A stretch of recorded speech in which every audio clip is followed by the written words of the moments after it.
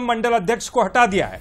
सभी निगमों के उपाध्यक्षों को भी हटा दिया गया है और प्राधिकरण के अध्यक्ष भी हटाए गए। तो बड़ी खबर इस वक्त की, छियालीस निगम मंडलों के अध्यक्षों को हटा दिया है राज्य सरकार ने।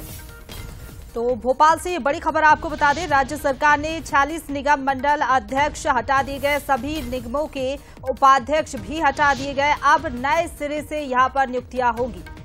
और इस वक्त इस पर ज़्यादा जानकारी के लिए हम सीधे रुक करेंगे हमारे साथ हमारे एग्जीक्यूटिव एडिटर मनोज सैनी जी जुड़ गए मनोज जी क्या कुछ कहा जाए कि ये तो लगातार पहले से कयास चल रहे थे कि राज्य सरकार उन अध्यक्षों को भी हटाएगी, उपाध्यक्षों को भी हटाएगी।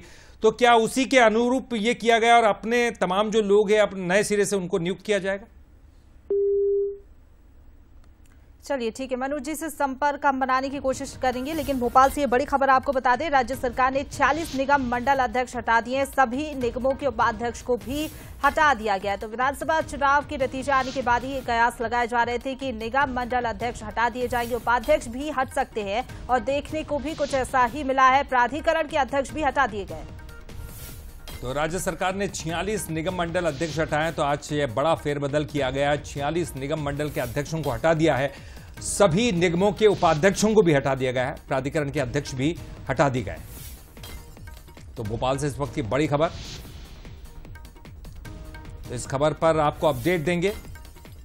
तो बिल्कुल सरकार बदलते ही ये कयास लगाए जा रहे थे। अटकलें थी कि बदलाव देखने को मिलेंगे और 40 निगम मंडल अध्यक्ष हटा दिए गए। इस पर ज़्यादा जानकारी के लिए एक बार फिर से रुक करेंगे हमारे साथ। हमारे एग्जीक्यूटिव एडिटर मनोज सैनी जी जुड़ गए। मनोज जी जिस तरह की अटकलें थी अब वो बदलाव यहाँ पर देखा जा रहा है। अब अपने लोगों को सरकार लाएगी यहाँ पर?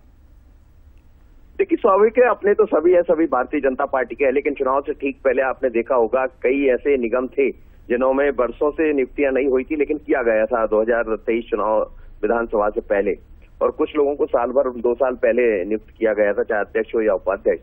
लेकिन तत्काल प्रभाव से जो सूची जारी हुई, उसमें छियालीस अध्यक्ष उपाध्यक्ष हटाए गए। सभी प्राधिकरण के अध्यक्ष हटा दिए गए हैं, उपाध्यक्ष हटा दिए गए हैं। इसके अलावा जितने भी विकास निगम हैं, चाहे हम कौशल विकास निगम की बात करें या वन विकास निगम की बात करें, जितने भी निगम है, सभी के अध्यक्ष उपाध्यक्ष हटा दिए गया। ज़ाहिर है, अब वो हटाए गए हैं तो डॉक्टर मोहन यादव, जो वर्तमान मुख्यमंत्री हैं, वो अपने हिसाब से नई जमावट करेंगे, नई लोगों को मौका मिलेगा। और इसमें चुनाव का वो भी देखा जाएगा किसका कैसा परफॉर्मेंस रहा, काम रहा, क्योंकि ओबलाइज भी करना होता है लोकसभा चुनाव पहले तो मुझे लगता है आने वाले दो चार दस दिन में नई नियुक्तियाँ भी जारी होंगी, लेकिन चालीस नहीं होंगे, इनकी संख्या कम रहेगी। बिल्कुल देखने वाली बात होगी कि कब तक नियुक्तियाँ होती हैं, कितने पदों पर नियुक्ति होती है। फ़िलहाल बहुत शुक्रिया आपका हमारे साथ जुड़ने के लिए, मनोजी और तमाम जानकारी हम तक पहुँचाने के लिए। चलिए।